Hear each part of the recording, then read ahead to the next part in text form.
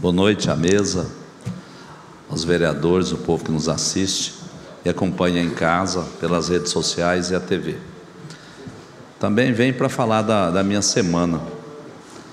E já parabenizar também, viu, da, da festa de sexta-feira, Nossa Senhora Aparecida, que nos encontramos lá. E no domingo, a festa de São José também. Teve muito bom lá.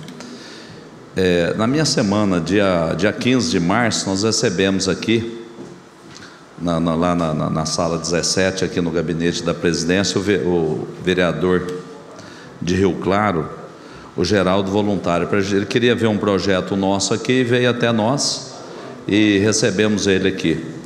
O pessoal da Câmara, veio o presidente do PMDB aqui no local, o Luiz Brazo Boi, foi muito bom. Que troca experiência, a gente está vendo, ele queria ver um, projeto nosso aqui que a cidade fez e nós mostramos a ele, estamos vendo o deles lá também. Para a gente foi gratificante, porque você troca experiência, ele já acho que é o terceiro mandato dele lá, e você começa a ver que a, as demandas da cidade são as mesmas, né? não é tão longe daqui, Rio Claro, mas as mesmas coisas que acontecem lá acontecem aqui. E dia 16, já havia pedido a, a limpeza lá do Campo Cruzeiro do Sul, que é um rapadão lá, e agora a prefeitura fez. Ficou muito bom. Só que no, no sábado já choveu já ali atrás do daquele hospital ali e já juntou sujeira novamente lá. É complicado aquilo lá. E eles estão lutando para ver se a gente faz outro campo para eles lá atrás do da escola ali. Já passei para o executivo, vamos ver se vocês vão ser contemplados ali. Porque o outro limpa e na outra semana chove e acaba tudo novamente.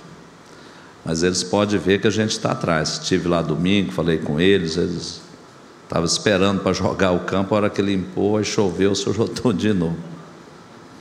E na sexta-feira foi também a prestação de conta do terceiro quadrimestre da saúde, Secretaria Municipal de Saúde, que teve aqui na Câmara também.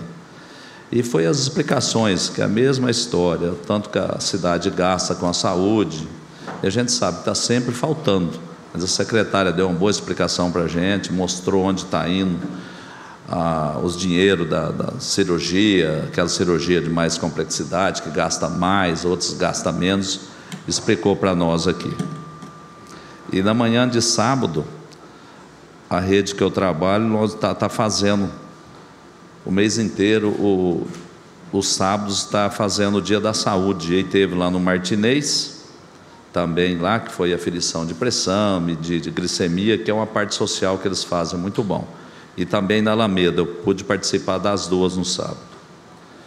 E segunda-feira, ontem, eu estive lá no SECAP, no CSM, que é no posto de saúde lá. Ficou bom, fez uma reforma já faz algum tempo lá, ficou bom. Só que tem alguns reparos, porque vai passando com o tempo, vai deteriorando as construções.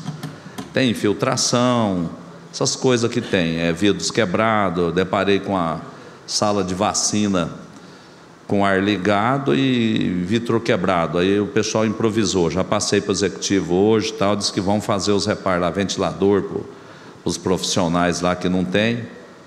E levaram a TV lá já faz uns dois anos, roubaram a TV do posto de saúde. Vocês viram a televisão que o pessoal tinha para ficar aguardando as consultas, roubaram a TV. A população tem que se atentar a isso, né? É, uma, é deles ali, eles não podem fazer uma coisa dessa que ali com certeza atende alguém da família dele que fez isso lá, que é morador de lá. Roubaram até coisa que segura a TV na, na parede e levaram lá. E outras coisas que eu levei também para o executivo hoje à tarde, as demandas que a gente está passando.